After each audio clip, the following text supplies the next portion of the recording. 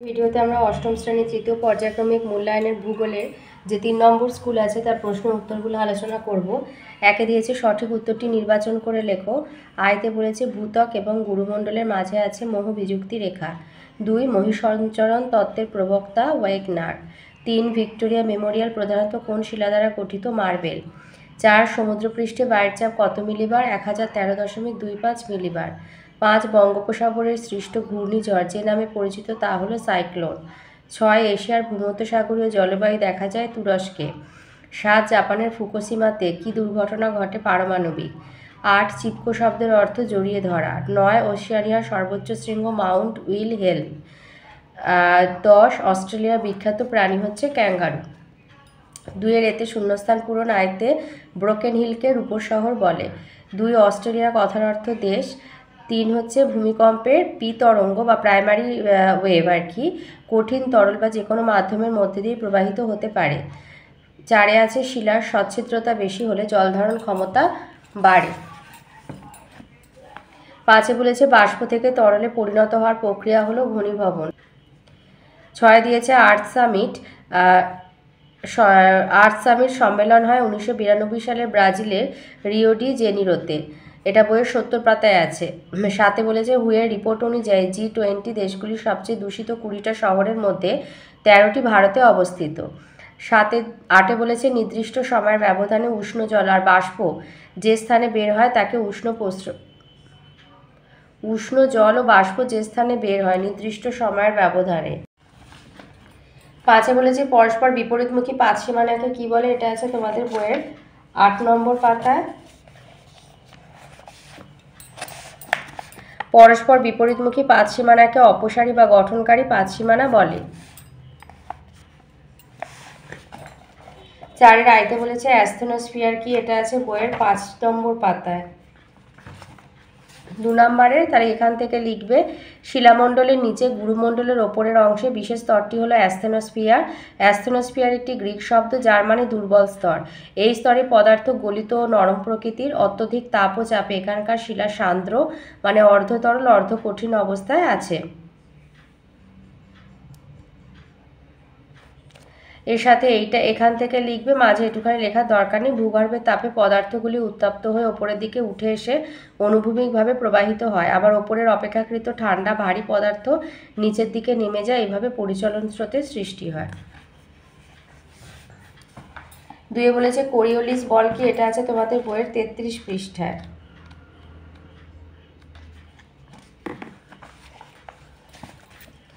এইখান থেকে বলবে পৃথিবীর আবর্তন বা ঘূর্ণন গতির কারণে পৃথিবী পৃষ্ঠস্থ যে কোনো স্বচ্ছন্দ গতিশীল বস্তুর ওপর এক ধরনের বল কাজ করে যা বস্তুগুলোর দিক বিক্ষেপ বা পরিবর্তন ঘটায়। এই বল হলো কোরিওলিস বল। বলছে, পৃথিবীতে স্বাভাবিকভাবে চলাচলকারী বাতাস আর সমুদ্র স্রোতের ওপর সাধারণভাবে এই বল কাজ করে।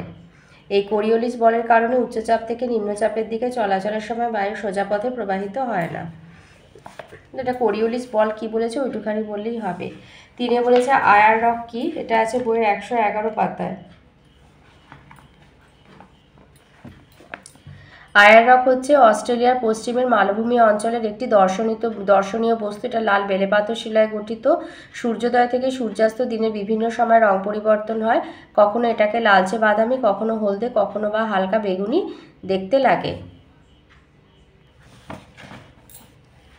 চারে বলেছে হোমিওস্ট্যাটিক ব্যবস্থা কি এটা আছে তোমাদের বইয়ের ছেষট্টি পৃষ্ঠায়। লিখবে প্রাকৃতিক পরিবেশের বিভিন্ন ভৌত এবং জৈব প্রক্রিয়াগুলি এমনভাবে কাজ করে যাতে পরিবেশের কোনো অংশে ক্ষতি বা পরিবর্তন হলে তা নিজে থেকেই পূরণ হয়ে যায়, একে হোমিওস্ট্যাটিক ব্যবস্থা বলে। পাঁচের আইতে বলেছে, তুন্দ্রা অঞ্চলের সম্প্রতি কি পরিবর্তন হয়েছে, এটা আছে তোমাদের বইয়ের তেষট্টি পৃষ্ঠায়। এই যে সাম্প্রতিক পরিবর্তন লিখবে বর্তমানে তুন্দ্রা অঞ্চলে বেশ কিছু খনিজের সন্ধান পাওয়া গেছে, যেমন পিটসবার্গের কয়লা, সুইডেনের কিরুনা অঞ্চলে আকরিক লোহা, ইউক্রেন এবং আলাস্কায় সোনা খনিজ তেল, ফলে বেশ কিছু শিল্প গড়ে উঠেছে। রেলপথ এবং জলপথে এই অঞ্চলের সঙ্গে বহির্বিশ্বের যোগাযোগ বাড়ছে। সাইবেরিয়ার মার্মিনস্ক বন্দর থেকে সেন্ট পিটার্সবার্গ পর্যন্ত রেলপথ নির্মিত হয়েছে। উত্তর আমেরিকার আলাস্কা হাওয়াই হাইওয়ে তুন্দ্রা অঞ্চলকে অন্যান্য অংশের সঙ্গে যুক্ত করেছে। কিছু অঞ্চলকে বরফমুক্ত করে অথবা গ্রিনহাউসে উন্নত প্রযুক্তিতে চাষবাস করা হচ্ছে। আদিবাসীরা পশুর লোম, চামড়ার বিনিময়ে চা, কফি, তামাক, অন্যান্য প্রয়োজনীয় দ্রব্য আমদানি করছে। বর্তমানে এই অঞ্চলে প্রভূত উন্নতি ঘটেছে আর অধিবাসীরাও ধীরে ধীরে আধুনিক জীবনযাত্রায় অভ্যস্ত হয়ে উঠেছে। দুয়ে বলেছে, পরিবেশের অবনমন কি এটা আছে বইয়ের সাতষট্টি পৃষ্ঠায়।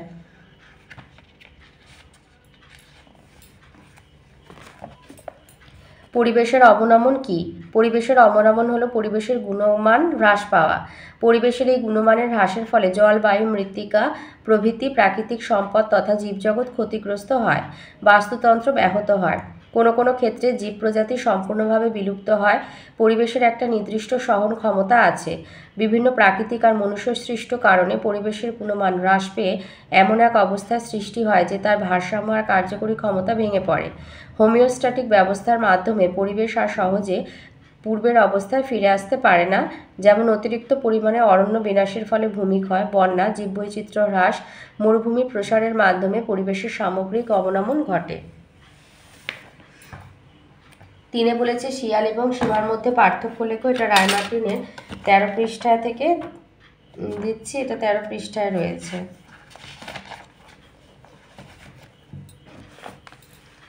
শিয়াল হচ্ছে মহাদেশীয় ভূতক সীমা মহাসাগরীয় ভূতক শিয়াল স্তর সীমার ওপরে অবস্থিত আর সীমা শিয়ালের নিচে অবস্থিত। শিয়াল স্তরের গভীরতা তিরিশ থেকে ষাট, সীমার গভীরতা পাঁচ কিলোমিটার। শিয়াল স্তর সিলিকন অ্যালুমিনিয়াম দ্বারা গঠিত, তাই এর নাম শিয়াল, আর সীমা সিলিকন ম্যাগনেশিয়াম দ্বারা গঠিত, তাই এর নাম সীমা। শিয়াল স্তরের ঘনত্ব হচ্ছে টু পয়েন্ট সিক্স থেকে two point eight gram per ঘনসেমি আর সীমা হচ্ছে টু পয়েন্ট এইট থেকে two point nine gram per ঘনসেমি। শিয়াল অপেক্ষাকৃত হালকা স্তর আর সীমা অপেক্ষাকৃত ভারী স্তর। শিয়াল স্তর প্রধানত গ্র্যানাইট জাতীয় শিলায় গঠিত আর সীমা প্রধানত ব্যাসল্ট জাতীয় শিলায় গঠিত। শিয়ালের শেষ সীমায় রয়েছে কর্ণরাডু বিযুক্তি আর সীমার শেষ সীমায় রয়েছে মোহরভিসিক বিযুক্তি।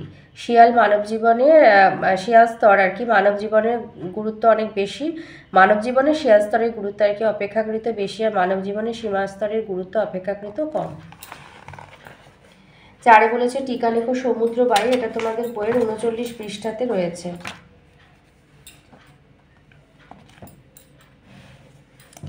লিখবে যে বিকেল সন বিকেল সন্ধ্যের দিকে মানে বিকেল থেকে আর কি সন্ধ্যের দিকে। সমুদ্র বা নদীর ধারে আবহাওয়া বেশ আরামদায়ক হয়।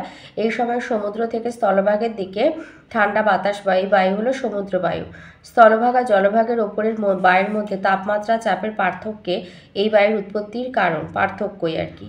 দিনের বেলা সূর্যের তাপ শোষণ করে স্থলভাগ জলভাগের তুলনায় তাড়াতাড়ি উষ্ণ হয়ে ওঠে। স্থলভাগের ওপরের হালকা বায়ু প্রসারিত হয়ে ওপরে উঠে গেলে সেখানে নিম্নচাপ সৃষ্টি হয়।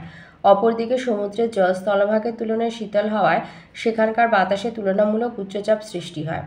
ফলে দিনের বেলা সমুদ্র থেকে স্থলভাগের দিকে অপেক্ষাকৃত শীতল, আরামদায়ক স্থলবায়ু প্রবাহিত সরি সমুদ্রবায়ু প্রবাহিত হয়। সূর্য ওঠার ঘণ্টা চারেকের পর থেকে এই বায়ু বইতে শুরু করে এবং বিকেল সন্ধ্যের দিকে এর গতিবেগ বেড়ে যায়। ছয়ের আয়তে দিয়েছে, পরিবেশের অবনমনের ফল কি হতে পারে? এটা বইয়ের উনসত্তর পৃষ্ঠায় রয়েছে।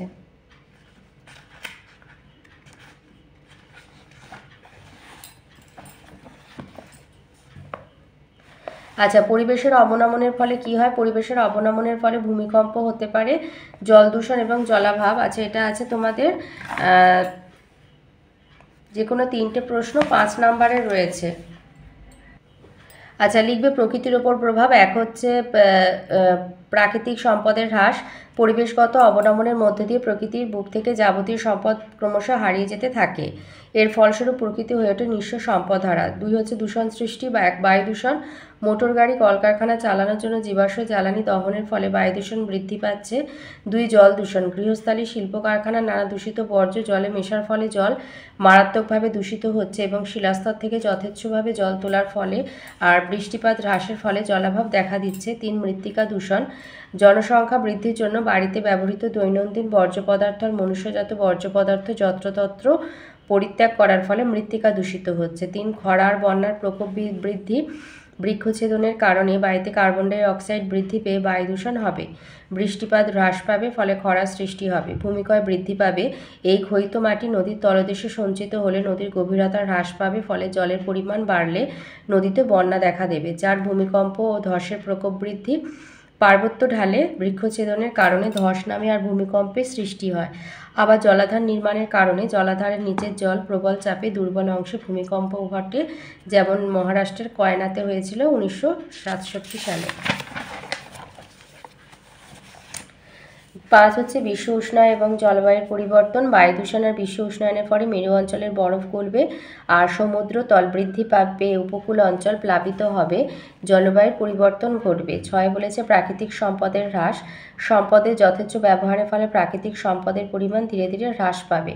সাত, ভূমির উর্বরতা হ্রাস। কৃষি উৎপাদন বৃদ্ধির আশায় রাসায়নিক সার প্রয়োগ ধীরে ধীরে মাটির উর্বরতা হ্রাস করবে, ফলে উৎপাদন হ্রাস পাবে। মরুকরণ। ক্রমাগত বৃক্ষচ্ছেদনের ফলে মরুভূমির বিস্তার ঘটবে, অর্থাৎ মরুকরণ প্রক্রিয়া ত্বরান্বিত হবে।